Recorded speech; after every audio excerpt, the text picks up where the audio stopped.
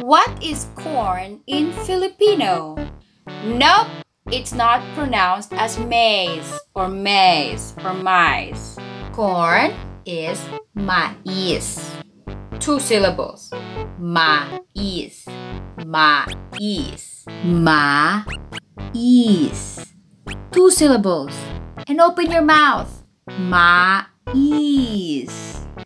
Good.